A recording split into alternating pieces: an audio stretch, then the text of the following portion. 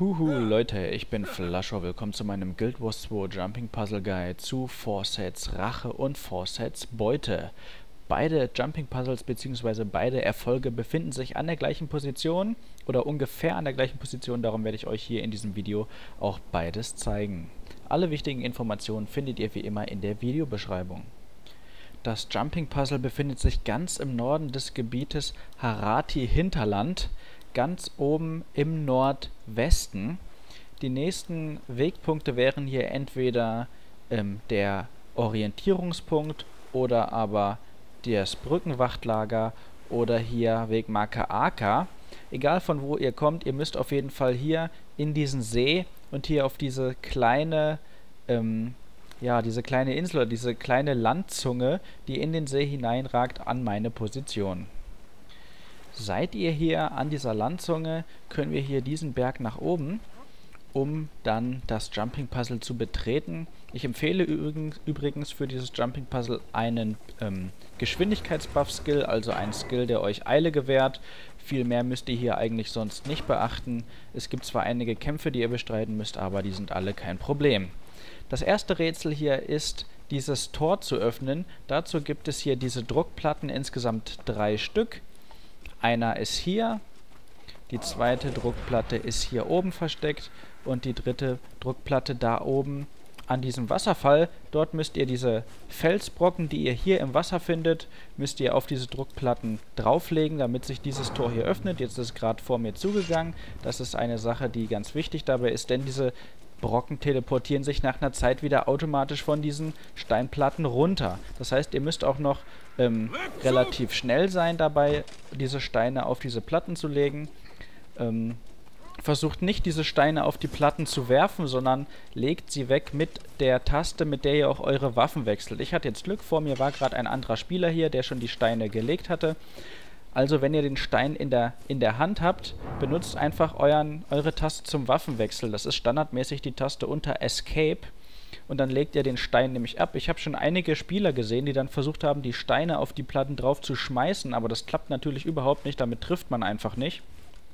Und ähm, darum geht das, ist das der Trick halt mit dem Waffenwechselskill. Da müsst ihr dann, wie gesagt, relativ schnell sein, damit nicht ein Spieler einmal die Steine auf die Platten legt und danach für immer alle Spieler einfach durch das Tor können, teleportieren die sich nach einer Zeit wieder weg und wenn ihr Pech habt, direkt, wenn ihr gerade den ersten Stein schon wieder gelegt habt. So, hier kommen wir jetzt zur ersten richtigen Schwierigkeit und zwar seht ihr schon, diese Steine hier sehen ziemlich locker aus und die brechen nach einer Zeit ein.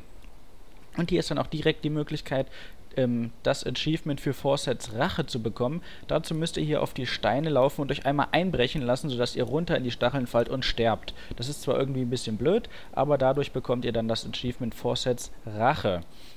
Ich empfehle auch hier, eure Rüstung auszuziehen, denn wenn ihr hier runterfallt und sterbt, bekommt ihr Reparaturkosten. Ähm, wenn ihr Forsets Rache habt, kommt einfach wieder hier hin und dann sprintet ihr hier einmal rüber. Ich habe jetzt sicherheitshalber auch mal eben meine Rüstung ausgezogen. Dann wird der Skill angemacht und dann heißt es hier möglichst schnell rüber und dann schafft ihr es auch ohne Probleme. Und ihr seht, da wo ihr langlauft, stürzt dann alles ein. Und danach könnt ihr dann auch wieder eure Rüstung anziehen.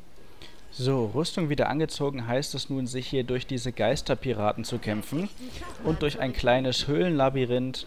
Ich werde jetzt hier verzichten, euch all diese Kämpfe, die man hier bestreiten muss, zu zeigen. Es sind nicht wirklich viele, es warten unterwegs vielleicht 5, 6 maximal sieben Gegner, die es zu bekämpfen gilt. Und unterwegs seht ihr immer hier diese roten Kreise. Wenn ihr da rauslauft, kommen Stacheln aus dem Boden, also kleine Stachelfallen, die auch relativ viel Schaden machen. Die solltet ihr nicht unterschätzen. Und um hier den richtigen Weg zu finden, ist mein Trick, mein Tipp für euch einfach immer an der linken Wand entlang. Dann sehen wir uns gleich am Ende wieder. So, ich habe mich jetzt hier einmal durchgekämpft. Wenn ihr richtig seid, seht ihr dann, wenn ihr von diesem Gang kommt, hier auf der linken Seite ein Gang, der nach unten führt. Das ist der richtige, den müsst ihr also finden. Es gibt auch einige Gänge, die in Sackgassen führen oder die in kleinere Räume mit Piraten führen, aber dieser Weg hier ist der richtige, hier nach unten in diese Grotte mit dem Piratenschiff. Alle Leute, die die Goonies kennen, wird das hier ähm, bekannt vorkommen, soll vielleicht eine kleine Anspielung darauf sein. Sieht auf jeden Fall sehr schön aus, wie ich finde. Und dann geht es hier ins Wasser. Passt ihr auch im Wasser auf, hier können auch unter Wasser Piraten sein, Geisterpiraten, aber unser Weg führt uns hier nach links. Auch hier können wir im Prinzip an den Gegnern vorbeilaufen oder wir kämpfen uns einfach durch. Ich bevorzuge jetzt für dieses Video die Durchlaufmethode. Darum werde ich das jetzt hier eben machen. So, an allen Gegnern vorbei. Hier auf den Holzpfahl und schnell nach oben. Da wurde ich jetzt leider gefangen, aber ja, die Gegner kommen sogar hinter mir. Aber egal, wenn ihr einfach weit genug wegrennt, werden sie irgendwann die Jagd nach euch abbrechen. Und dann hier an diesem Wasserfall geht es dann weiter und ihr seht, die Gegner haben schon aufgehört, mich zu attackieren. Und dann heißt es hier wieder auf den nächsten Holzpfahl. So, diesen Sprung hier am besten nicht verhauen, weil sonst sind wir wieder unten. Klappt aber eigentlich ganz leicht. Und dann kommt hier die letzte Hürde. Diese Sprünge sind gar nicht so leicht. Ich empfehle hier nicht direkt senkrecht zu diesen Holzpfählen ähm, zu springen, sondern etwas parallel. Dann sind die Sprünge ein kleines bisschen leichter. Aber die sind auch so eigentlich ganz gut schaffbar, wenn ihr die Kamera so wie ich nach oben tut.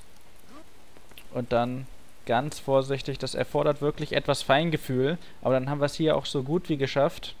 Hier dann nur noch hier auf die Mitte springen, hier drauf. Und dann können wir auf das Piratenschiff. Auch da sind wieder Gegner drauf. Auch hier werde ich einfach vorbeirennen an diesen Gegnern. Sobald wir hier in der Mitte sind, bekommen wir schon das Achievement, dass wir es geschafft haben. Und wenn wir hier unten reinspringen, finden wir hier an seinem Tisch Captain Fawcett sowie die Be Belohnungstruhe und wir haben das Jumping Puzzle geschafft und sind damit durch. Ich hoffe, es hat euch gefallen. Ich verabschiede mich aus diesem Piratenschiff mit diesen Worten und wir sehen uns die Tage wieder. Ciao, Leute.